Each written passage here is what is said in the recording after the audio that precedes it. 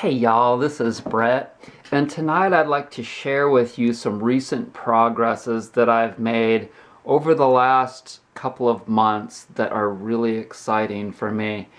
And I wrote them down on a Facebook page, so I'm going to post, so I'm going to uh, just read them to you. For the first time in my life, I'm able to consistently take aggressive antiviral, antibacterial, antiparasitical herbs. I recently finished off a bottle of extra strength grapefruit seed extract tablets, and now I'm taking two 50 milligram olive leaf extract capsules from Gaia a day. I'm also taking lots of other great herbal formulas, and the kicker is that I'm handling it without getting overly sick. And I'm doing plenty of sauerkraut and primal defense as well. This is a huge accomplishment for me. Also, even though I'm binging a bit sometimes, I'm finding it easier to eat less fruit, nuts, and seeds, and to eat more vegetables especially raw. Raw, raw, raw, raw, raw. Also, I'm sticking with my psyllium shake every morning, and that really helps absorb toxins and reduce enemas. Additionally, my body is releasing, my waist is getting smaller, and I'm getting these triumphant feelings all over. Get out of my way, laughing out loud. so, 2016 was another pretty tough year for me. I would say probably not quite as tough as 15 in regards to all of the purging of toxicity that I've done from this body.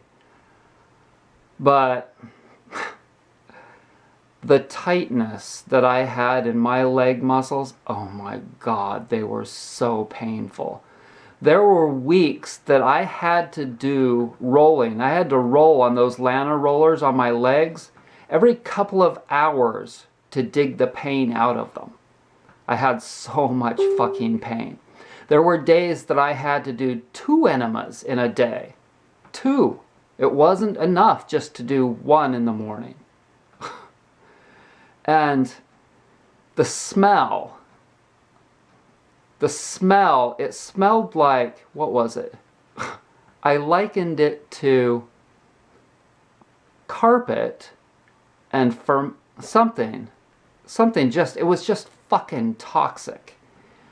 And, and now I'm like seeing more light. Like all of a sudden, in the last couple of months, see, I had this filling fall out of this tooth and I got all this jaw pain and I made a video about that recently. It was about a couple, two or three weeks ago. And so I'm like, okay, well let's go for it again and see if we can do some of those antifungal bacterial herbs, you know, because I really like to save this tooth.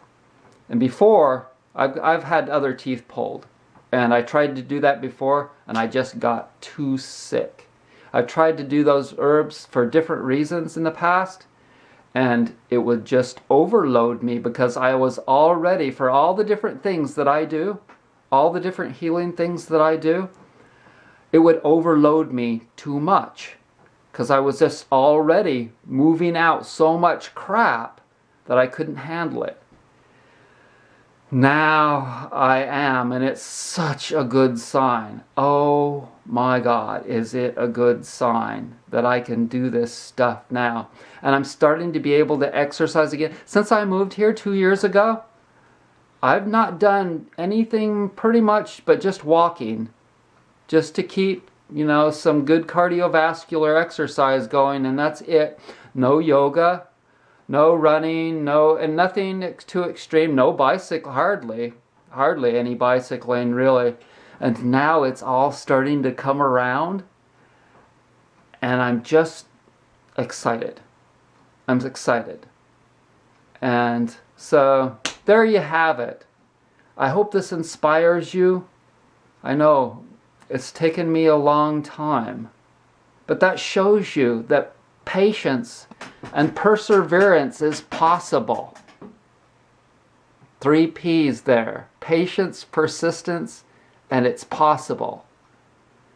And it builds strength. What doesn't kill you makes you stronger. It's absolutely true. So keep at it, y'all, and remember, if you if you do all those things that I outlined in that last video, the cancer video, it goes for everyone and everything. And to be able to get this lifestyle in a place where there's clean air and clean well water and you have access to clean food, preferably you can grow your own. Achieving this, this is where it's at. This is where it's at for health and prosperity in the future. Bad air and bad water, it just makes you weaker in all regards. And we have these new things, these internet things, that are going to enable us to get away from that for which is killing us. We can do it.